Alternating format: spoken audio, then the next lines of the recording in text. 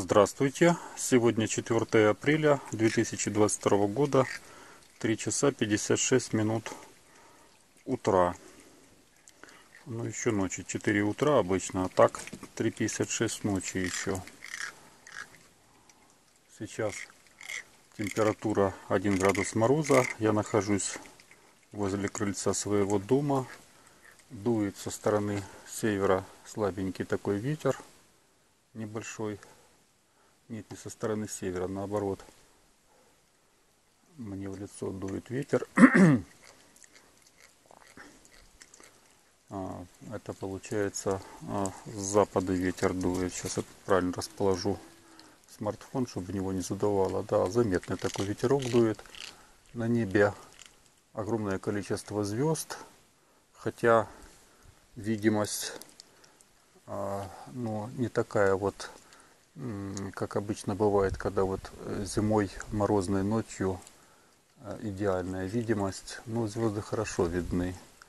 И светится в соседнем селе, сейчас я пойду посмотрю.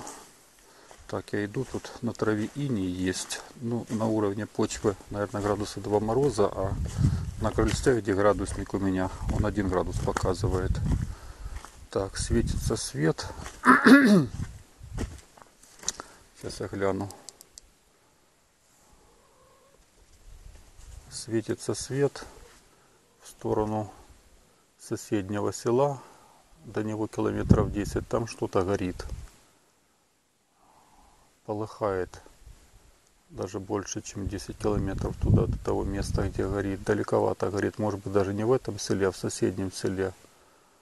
А, полыхает а, такое вот ну, когда пожар, а, он неравномерно горит, как лампочка электрическая, а то в языке пламени больше или меньше, а, что-то горит там. Два дня подряд шел дождь, и ночью был дождь. Ну так, не постоянно, а с перерывами.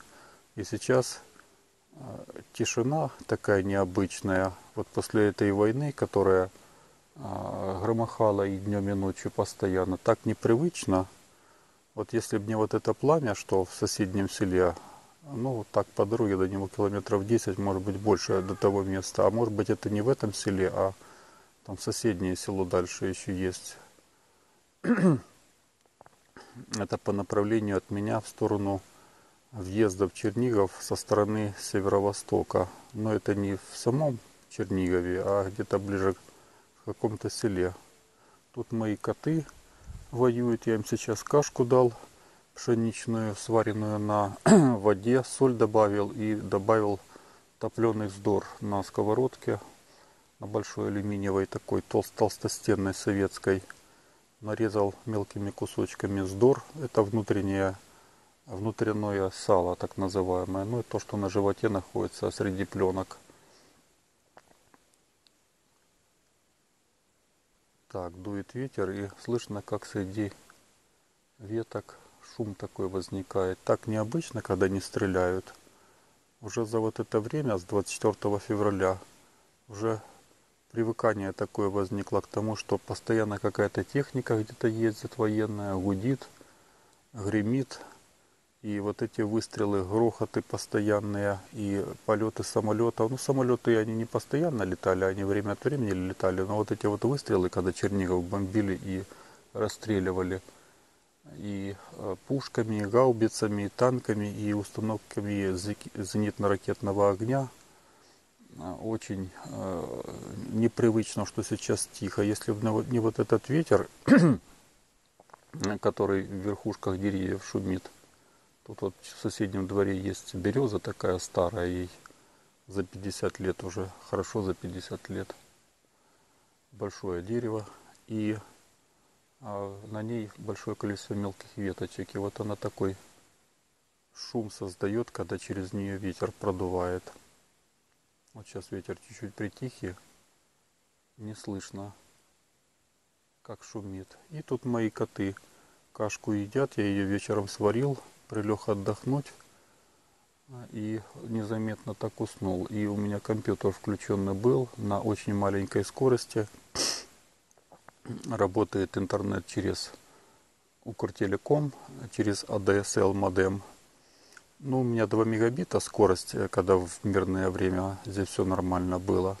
И по а, оптоволокну телефонная станция, которая в нашем селе находится, она была подключена. Но сейчас это оптоволокно, оно не работает. Его в репках эти орки перебили. И э, по оптоволокну у меня тоже в дом вот есть этого оптоволоконного кабеля 100 мегабит я скорость э, имел ну, специальный оптический модем и дальше через витую пару от этого модема в компьютер вот сигнала шел так вот сейчас оптоволоконный интернет в моем доме 100 мегабитный не работает а только э, через телефонные провода через местную телефонную станцию. И опять же по телефонным проводам окольными путями через какие-то там вот, э, то ли через Карюковку, то ли там через Щерс, э, ну, раньше название такое, Сновск, в общем, какими-то окольными путями до Чернигова. а, связь э, подается на этот, на, на эту телефонную станцию и на маленькой скорости. Помните, как в начале интернета, когда скорость была у модемов 2400 а, знаков в секунду 4800 9600 это считалось очень хорошо.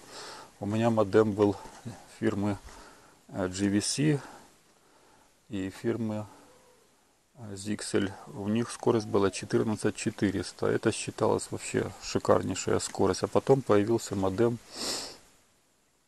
э, который обеспечивал скорость 28800 и им поставили прошивку. Я в Москве жил, прошивку поставил. 33600 скорость он обеспечивал. Вот, вообще шикарный модем. Я его сохранил, потому что я на нем очень много всякой информации получил. Через телефонные провода доступ к интернету имел. Сейчас кому-то скажешь, что доступ к интернету через телефонные провода так как-то непривычно. Вот. Ну, сейчас тоже есть доступ в селах к интернету через телефонные провода, но не по диалапу, то есть дозвон, как телефоном звонить надо, а постоянное соединение. Технология уже другая, ADSL модем, а не тот, который был раньше. Так что слава богу, что хоть и такой модем есть, потому что можно и почту получить, и работает э, браузер, можно видео на маленькой скорости с перерывами посмотреть. То есть он скачивает браузер какой-то кусочек видео, воспроизводит, потом снова скачивает, потом воспроизводит. Ну, в общем, так, урывками можно посмотреть. Ну, почему такая маленькая скорость? Потому что много пользователей подключилось и а, те люди, у которых э, до появления в нашем селе оптоволокна пользовались вот этими соединениями через модем, через Укртелеком, это все восстановили, платят по 10 гривен в день. Сейчас доступ стоит, то есть получается, если я месяц пользуюсь, то 300 гривен набегает. А если оптоволокном я пользуюсь, то 200 гривен за 100 мегабит. Ну, слава богу, что хоть на такой скорости есть интернет, потому что э, и Telegram работает, и э, ну, Telegram, ему там особо ресурсы не нужны, то есть ему э, он как в текстовом режиме, как пейджер работает, ну, можно через него и поговорить, и видеоконференцию сделать, в смысле с, с видео, но я на такой маленькой скорости видео не передаю, и э, текстовое сообщение написать или там просто поговорить. Но поговорить не удавалось, потому что скорость маловатая. Так что в основном текстовое сообщение. А для текстов, передачи текстов на 2400 а, или какая там скорость фактически получается, этого достаточно. У котов тут период размножения, они тут за кошками бегают, мяукают. Сейчас я руку перехвачу, а то уже кончики пальцев на морозе подмерзают. Мороз вот этот вот с ветерком таким незаметным он сказывается. Так что вот эта вот непривычная тишина, она поражает. Я смотрел видео вчера у нас было третье число, воскресенье, 3 апреля. Смотрел видео в интернете, что там устроили расисты в Гастомеле, и в Ирпени, и в Буче, и в Ворзеле. Но это фашисты, которые а, хатынь устроили в Белоруссии э, во время Второй мировой войны, Великой Отечественной войны. Они просто святые существа по сравнению с тем, что устроили вот эти вот российские расисты, э, вот эти вот орки, вот это вот быдло конченное, которое расстреливало людей, а, ну просто самый настоящий геноцид. Вот Полпот, может быть, переплюнул. Помните, в красные кхмеры такие были, два подростка, которые командовали, ну я вообще не знаю, как, как они там к власти дорвались, но в общем два подростка, там лет по 14, по 15, их там в Кампучи и в Камбодже объявили святыми, и они там командовали вооруженным этим вот а, бандитским кодлом таким, вот, который уничтожало всех людей, которые имели хоть школьное образование, а если институт или университет, так его в первую очередь убивали, уничтожали. То есть борьба шла со всеми, кто был грамотный. Ну вот ненависть такая у этих подростков была, я не знаю, там, или учитель у них был такой жестокий, или еще что-то. В общем, они ненавидели всех, кто был грамотный. И в Кампучии вот эти красные кхмеры – а, уничтожили огромное количество а, людей, которые были грамотными. Там после этой войны э, не осталось, ну это гражданская война была, не осталось ни учителей, ни, ни врачей, ни ученых. В общем, там повычищали э, население жесточайшим образом. Так вот, примерно то же самое, вот эти расисты, которые приперлись э, из России, из Белоруссии на территорию Украины устроили ну, чистку не по критерию э, грамотный, неграмотный, а по критерию э, гражданин Украины. То есть любого человека, начиная там мальчиков хватали там э, с 16 лет, ну это не мальчики, это уже подростки, юноши, хватали и до дедушек в возрасте там 65-70 лет связывали скотчем руки – а, и выводили там в какое-то место э, группой э, и в затылок расстреливали. В общем, там массовые расстрелы в Ирпене были. Э, ну, страшное дело. Ну, зачем? Для чего, вот спрашивается, вот нужно было этих людей расстрелять? Что они плохого сделали? Только по критерию того, что вот они мужского пола. То есть просто настоящий геноцид был – украинского народа. Но это у меня в голове не укладывается. Вот представьте себе картину, если бы китайцы зашли а, в город какой-нибудь российский, и всех мужчин, а, начиная с 16 лет и до пенсионеров, там, до 65-летних, руки за спину, скотчем руки обмотали, потому что на всех не хватало наручников, и вывели куда-нибудь в поле там или на стадион, поставили к стенке и каждому подходили сзади из пистолета в затылок стреляли пулей. То есть одно пулевое э, ранение, один выстрел в голову и все, и человек готов. Вот так вот расправились с украинцами, потому что они украинцы. Вот это вот русский мир такой, который пришел защищать русскоязычное население в Украине – от якобы угнетателей, типа там бандеровцы, бендеровцы, укрофашисты, укронацисты, нацики и так далее. Уебки его конченые, дебилы пришибленные. Вот это вам пропаганда так промыла мозги через вот это геббельсовское расистское телевидение, через э, средства массовой информации, видеорадио, интернет-каналов, э, различных форумов, э, социальных сетей, э, интернет-сайтов и так далее. Это, это вообще полное безумие, это кошмар какой-то. Какие нахрен тут укрофашисты, укронацисты? Где вы это все взяли? Идиоты долбанутые. Но ну, самое интересное, что вот эти вот военнопленные российские, которые в плен попадают, они вынуждены признать, что никаких укрофашистов и никаких бандеровцев и укронацистов они тут не видели. То есть они сами признают, что мы стреляем а, в мирное население, мы их убиваем, мы разрушаем и больницы, и школы, и детские сады, и жилые дома, и все подряд уничтожаем. Это мы плохие, это мы фашисты, как вот этот русский заявил пленный. А, вот. Но это не то, что ему там сказали под угрозой убийства, что ты скажи так, как вот мы тебе сказали, и мы запишем это на видео. Это он сам искренне осознал, потому что ну, тут э, против правды, как говорится, не попрешь. Вот что такое русский мир. Это, это ужас какой-то, это Россия, это э, зомбаки самые настоящие. Вот видели фильм «Властелин колец» и вот этих орков показывали. Так вот эти вот орки, это то же самое, что россиянцы, вот эти вот граждане России, которые смотрят зомбирующие эти э, ящики, зомбоящики, телевизоры и верят всему тому бреду, который наговаривает с утра до ночи вот этот жиденыш, Э, жирненький, метр э, пятьдесят ростом, Соловьев, вот это вот конченное ничтожество с двумя дачками в Италии. Ну, дачки уже арестовали, отняли, уже все. В Италию он туда не поедет, ему визу не дадут, и он туда уже в Европу не выедет. А если выйдет, то его арестуют и в суд в Гаагу отправят. И пожизненное заключение или смертную казнь ему, казнь ему устроят.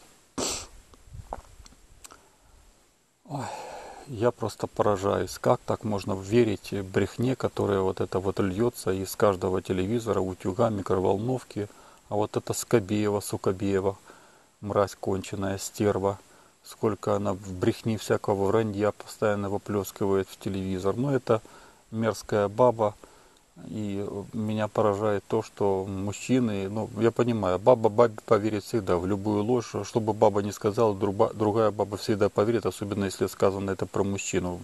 Будь это тысяча раз неправда, любая баба все равно поверит другой бабе, потому что у бабы, у каждой бабы вшита в э, ее микросхему, в прошивку вот эта вот программка такая, что баба бабе верит всегда в любую ложь, в любую неправду. Вот поэтому судья, которая рассматривает судебный какой-то спор между мужчиной и женщиной, всегда даст предпочтение женщине, потому что что судья, что царица, что принцесса, что королева, что жена президента, что алкашка какая-то, что какая-то бабочка, начиная с окружной дороги, у них у всех одинаковая прошивка.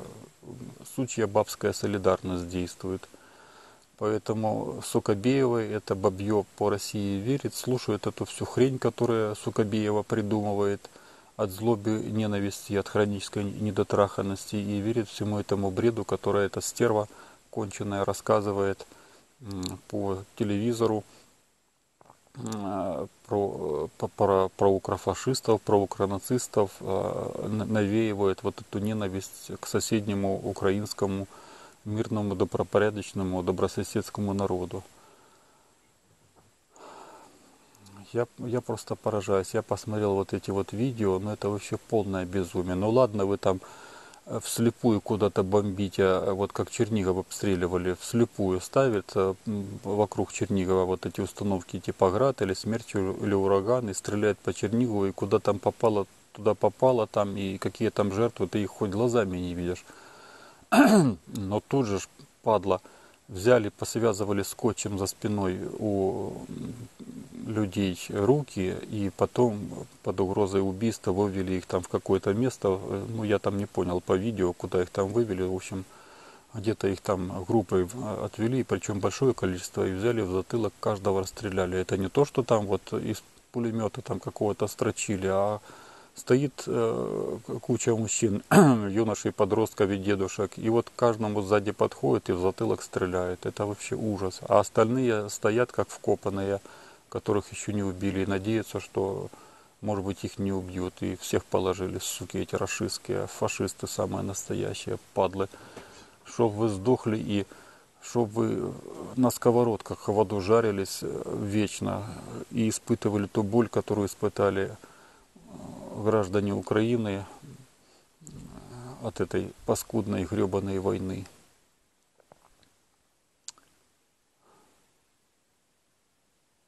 Я слушаю тишину. Сейчас смартфон мой, он, у него автоматическая регулировка громкости. Он когда а, разговариваешь, если громко, то он уменьшает усиление и когда наоборот молчишь, он, чтобы шумы не записывать, тоже усиление как бы уменьшает. И а, вот эти тихие-тихие шумы, которые ушами слышишь, он не воспроизводит.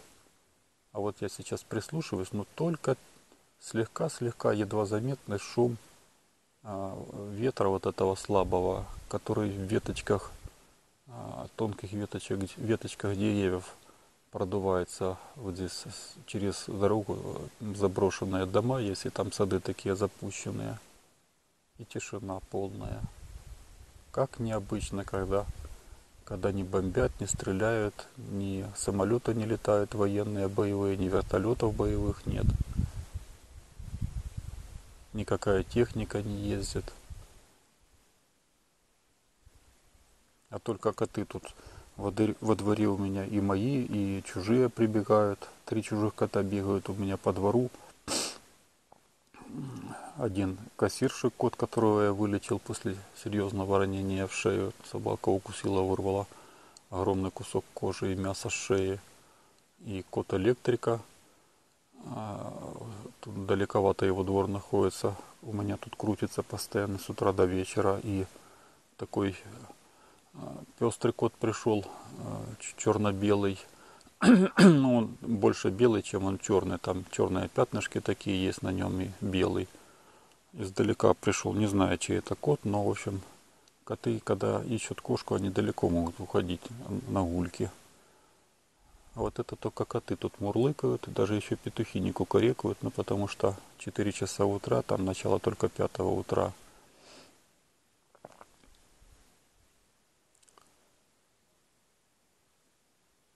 Да, тишина, конечно, удивительная. Дай Бог, чтобы эта тишина уже была и дальше, чтобы наконец-то война в Украине закончилась, наступил мир, и чтобы эта блядская паскудная гребаная рашка – развалилась на сотни свободных независимых отдельных государств, типа там Смоленская Народная Республика, Курская Народная Республика, Ленинградская Народная Республика.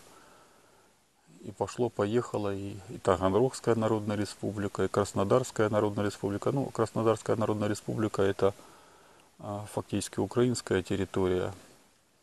А, Краснодарский Ставропольский край, это Кубань, это территорию Украины, которая была отхвачена от Украины и присоединена к РСФСР. А вот эти пропагандоны, вот этот карлик Пу рассказывает, что Россия Украине много земли дала. Наоборот, от Украины очень много отобрали. Когда Советский Союз образовывался, после того, как в 17 году этот еврейский переворот произошел в Российской империи. Да, уже меньше горит в том селе, про которое рассказывал. Но все равно свечение есть, что-то там горит. Не знаю, там на сток сена это не похоже, и на скирду не похоже. ну, наверное, какое-то все-таки или дом деревянный горит, потому что полыхает в небо такое неравномерное свечение. Луны нет. А сейчас Луна спрятана, она не освещается Солнцем. Ну так, фаза Луны сейчас. А, это такая фаза Луны сейчас, что не видно. А звезды прекрасно видны. Но опять же, не идеально, потому что бывает видимость лучше. Есть э, такая легкая дымка на небе, но звезды очень хорошо видны. И огромное количество звезд на небе. Куда ни посмотрю, везде звезды. В любом направлении. Так, это мой черно-белый кот. Мурзик пришел тут вокруг меня, песни поет, мурлыкает. Белые ресницы, белые усы. Идем, Мурзик, туда. Земля холодная, иней на земле. Будем записывать, будем заканчивать запись сообщения. Иди там кашку покушаешь. Хорошая такая наваристая настоявшаяся кашка получилась, мягенькая. Она когда постоит несколько часов в кастрюле, когда она остывает, она такая, как в печи получается. Ну, упаивается каша, упривает, как говорится. Она такая мягкая, нежная становится. И, и кушай, и соленый огурчик, помидорчик. И эта каша, она еще кусочек сала туда или еще мяско добавить. Вообще замечательно. Такая каша, что за уши не оттянешь. Здесь очень вкусная пшеница на, на, на землях этого села вырастает. И, и картошка очень вкусная. Но это состав почвы так влияет на то, что вырастает. Вот есть земли, которые дают очень вкусную пищу. Ну, такой набор минеральных солей удачный что кушаешь и хочется, и, и за уши не оттянешь. Так вот, пшеница, это которую купил, крупу 25 килограммов мешок по 8 гривен за килограмм тут у местного фермера. Он пшеницу собрал и через крупорушку ее раздробил в крупу. Ну, такая хорошая получилась крупа, шикарно. Я очень рад, что я купил этот мешочек 25 килограммов этой крупы. Она, во-первых, и дешевле, чем в магазине. Больше, чем два раза дешевле. И не сравнить с той крупой, которую я в магазине раньше покупал. Ну, в местных магазинах, которая привезена была из других мест. Ну, в общем, разница огромная. То есть душистая такая пахучая ароматная каша получается. Неудивительно, что ее коты так с удовольствием едят. А вчера я приготовил с добавкой вот этого свиного жира, сала этого.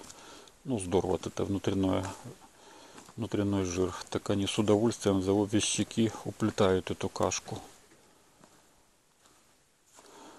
Вот, коты, они войну не замечают, им в голове найти кошку, там шуры-муры с ней покрутить, размножиться, вот, наесться от пуза и залезть в теплый домик под обогреватель там или на обогревателе сидеть и греться, значит, и поспать там и так далее. У них мысли такие вот.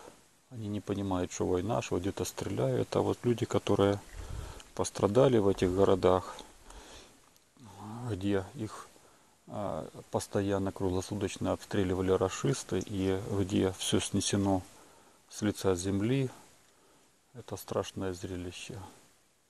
Ужас полный. Но у нас тут более-менее успокоилось. Не знаю, там из центра села эти расисты выехали или нет. Вероятнее все, что выехали, потому что нет никакого гудения техники. Я вот эти вот два дня, когда шли дожди, такие довольно сильные дожди, я в центр села не ходил, но мне не было необходимости туда ходить, потому что деньги у меня закончились, чтобы в магазине можно было хлеб покупать. И а, на молоко я не мог уже деньги потратить. Ну, в общем, наличные деньги закончились, на карточке деньги есть, а наличные закончились. И я поэтому в центр села не ходил, на ферму не ходил за молоком. Поэтому не знаю, какая там ситуация, но мне кажется, что техника эта под, под дождем скрытно так уехала в сторону России. Если бы они тут стояли, то было бы свечение в центре села. Они там фары включали, чтобы видно было, где там ходить там и все такое. Ну, чтобы освещенный как бы лагерь был где они стоят, и гудела бы техника, они мотор грели бы, а так тишина полнейшая, аж необычно. Но вот эта техника, которая с, э, из Киевской и из Черниговской области выехала через пограничный переход Синьковка, ну там, где пограничный переход Три Сестры находится, Синьковка, это пограничный переход – они загружаются на железнодорожные составы, вот на эти платформы, и эту технику вокруг границы с Украиной везут в сторону Донецкой и Луганской области, и там будет идти дальше война э, с целью захватить вот эти вот области целиком э, в пределах административных границ с соседними областями для того, чтобы расширить а, анклавы, вот эти вот так называемые ДНР, ЛНР до размеров полностью Донецкой и полностью Луганской области. Так что там война будет продолжаться. А у нас тут затихло. Ну, мир еще как бы не наступил, потому что и минирование, говорят, есть вокруг Чернигова. У нас тут ничего не минировали, хотя голова села, когда в конце февраля месяца к ней местные жители пошли, а, к ее двору, как мне рассказывали. Я сам туда не ходил, потому что я занимался там покупкой картошки у одного человека и на велосипедном прицепе, на велосипедном прицепе 57 килограммов картошки вел, вез к себе домой. Так вот, а, по тем рассказам, что, что до меня дошли, пришли к ее двору. Э, Ну, в общем, вызвали ее, она даже в двор людей не пустила. На улицу вышла и сказала, что таким перепуганным голосом, что везде все заминировано, сидите тихо, расходитесь, ничего не будет, сидите тихо. Пересрала. Нигде тут ничего у нас не заминировано, это все брехня, это баб э, нельзя назначать на руководящие должности, потому что они всего боятся, они обсираются сразу, пересирают и перепуганные такие, придумывают такого, что на голову не нацепишь, на здоровую. Заминировано везде все. Никто тут ничего тут не минировал, тем более, что в конце февраля месяца, когда они вошли, никто никакое минирование тут нигде не делал она набрала людям. Вот такую голову села тут выбрали. Ну, я тут только кратенько сказал характеристику этой особи, метр тридцать ростом. Высокомерная, заносчивая, с высоким чувством собственного величия, самомнения о себе. Такая фифа нафуфыренная, что ни пером не, не, не, описать, ни, ни словом не сказать. миллион раз хуже, чем вот эта старуха из сказки про рыбака и рыбку Александра Сергеевича Пушкина. Вот такая пришибленная тут руководительница села. Ладно, черт с ней, с этой бабищей. Так, смотрю, мои коты на соседнем заборе сидят. Кс -кс -кс -кс -кс -кс -кс -кс -кс. Может быть, тут даже и не мой кот, а чужой пришел. Но, в общем, тут коты бегают, глаза светятся. У меня на голове фонарик такой, с которым я езжу на велосипеде, когда из Чернигова, ну, в мирное время, когда еще война не началась. Когда возвращаюсь по дороге, такой велосипедный фонарь налобный, довольно мощный, с мощными аккумуляторами литиевыми. И тут свет от него далеко идет. Так, буду на этом сообщении заканчивать. Слава Україні, слава героям України, слава защитникам України и слава всем здравомыслящим людям во всем мире, которые помогли и помогают Украине и украинскому народу выстоять в этой захватнической войне Рашкиной Федерации против свободной независимой Украины. Желаю вам сто лет жизни,